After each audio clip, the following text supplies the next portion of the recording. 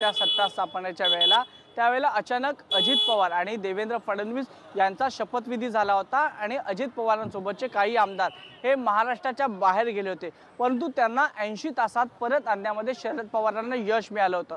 आता ती स्ट्रॅटेजी आहे ती इथे एकनाथ शिंदेंना परत आणण्यासाठी वापरली जाऊ शकते का? हा सगळ्यात महत्त्वाचा मुद्दा. त्यावेळेला एकनाथ शिंदे मिलिंद नार्वेकर आणि शिवसेनेचे इतर नेते होते. ते राष्ट्रवादीच्या आमदारांना आणण्यासाठी बाहेर महाराष्ट्राच्या बाहेर आणि इतर हॉटेल्समध्ये गेले होते.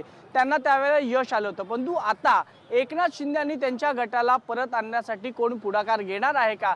ज्या पद्धतीनं शिवसेनेने सांगितलंय की संघर्ष करणारच.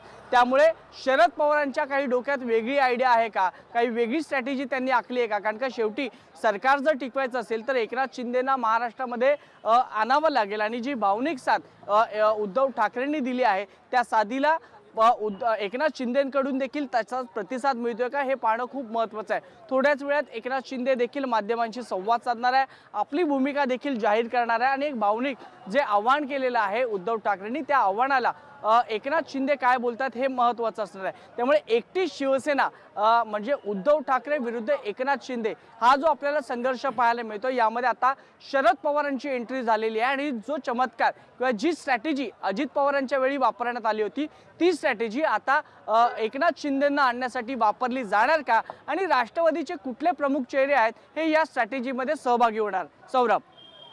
बरोबर. वैभव पण शरद पवारांची आपण कालची प्रतिक्रिया बघितली तर या सगळ्या प्रश्नांकडे आणि जे काही बंडखोरीच्या घटना काल दिवसभरात घडल्यात आणि आज सुद्धा काही आमदार सामील झाले तर हा सगळा शिवसेनेचा अंतर्गत प्रश्न असल्याची प्रतिक्रिया शरद पवार यांनी दिली होती. पण आता जो सगळा पेच